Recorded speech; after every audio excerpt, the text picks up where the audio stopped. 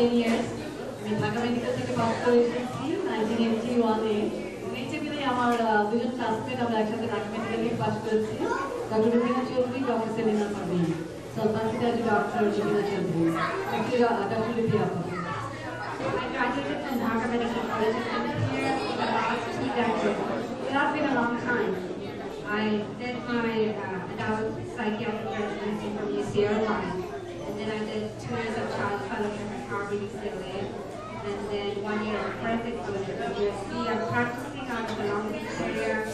I'm in a group practice and I do uh, consultancy, and I'm also uh, in the panel of the partners at the Orange County Court. Um, it's a real great privilege to be here with all of you today, uh, union with all the judges from. Um, thank you again for giving us an opportunity to and At the beginning, all of you know that we started the work to know each and each every one since 2001, and this is 2009. I see a lot of known face. I started work in 2001 to find out all the doctors in Los Angeles.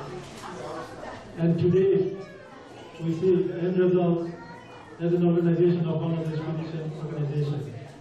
This is a wonderful organization. We should have some mission. We should have some work to be done for the people, those who deserve.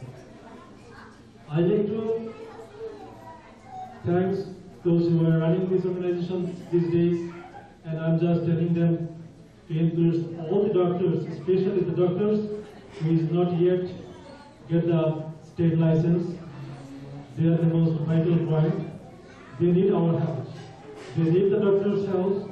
So please include them and help them, inspire them, and to help you get the, the state license. I'm Dr. Hassan. I've been practicing in Los Angeles since 1997 as a dental surgeon. Thank you very much and good evening. My name is uh, Selina Shetty, and I graduated with two of my friends, Ruba and Nasima.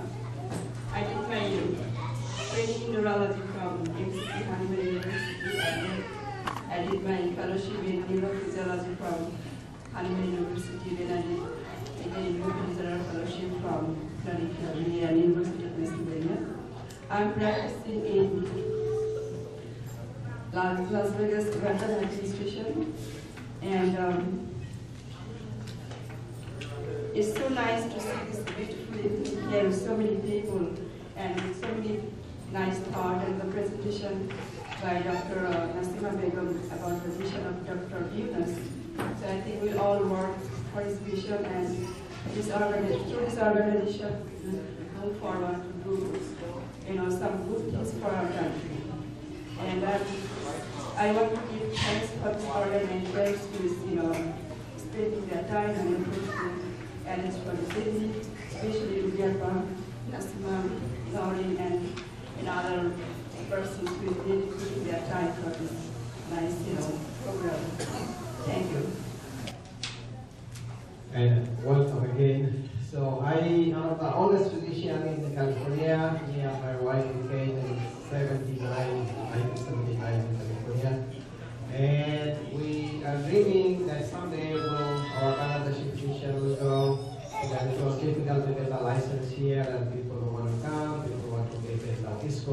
Commonly. So as a result, we are waiting for the right time to come. So inshallah this right time has come and we started our uh, here, along with the, the largest national organization, which is we are part of it as well. So we work together with them, and we work ourselves as well.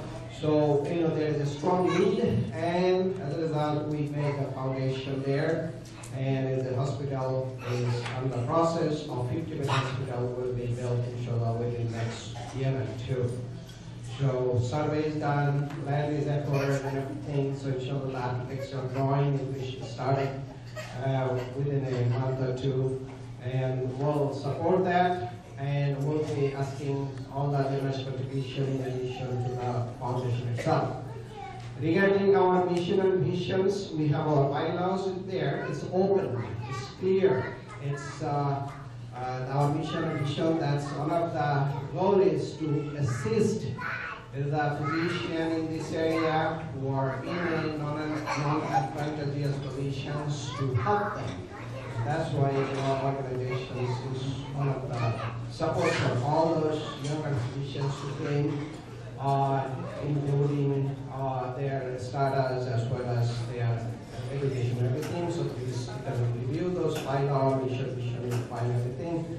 And uh, so I practice internal medicine and family practice in Westside and Netherlands for the last 30 years. And me and my wife, we share the office. Sometimes we argue, sometimes we are happy, sometimes we talk and all those things. That's part of life. And then we enjoy it and we see it all the time. So fun. And she helped those for sure, day and night. She did it herself. I said, let's see, let's see, you can do it. So she did it. And she organized everything, mashallah. And uh, so give her a big hand. She and uh, again, we will grow, inshallah. What we what we start, we finish. We don't just only talk. That's our goal. So as long as we are healthy, as long as we are um, uh, in a uh, in a situation where we get all the support, inshallah we will be doing a lot of good things for ourselves as well as for Bangladesh. Thank you very much. I think by now everyone knows me. So Ruby Hossain practicing in Redlands, uh, California, and also uh, I go to Riverside, that's another office we have. Um, again, we don't want to continue too much here, so I'd like to get the microphone in the next table so we can have speakers. And after that, we can have show, because we have a lot of programs. We have speech and a lot of things, so please stay here with us and enjoy the. Martin, I've been practicing rehabilitation at the San Diego. Uh, I'm uh, boarded in internal medicine geriatrics and a pretty hot topic, which is anti-aging medicine. And, uh, you know, I did my fellowship from here at UCSD. And, uh, you know, I do have a geriatric and anti-aging practice. And it's so good to be here, and I'm really proud to be in such a wonderful gala occasion in Canada. Let me introduce you to my wife. Uh, she's also a spine specialist, and she'll say a few words. Hi, Hamid, uh, this is Fahima Nassar. Um, I'm from one I don't love from one. And um, I did res- residency from UT Southwestern, um, from Piedmont, and uh, the fellowship now I'm working for VA San Diego. So you are welcome to uh, see us in San Diego.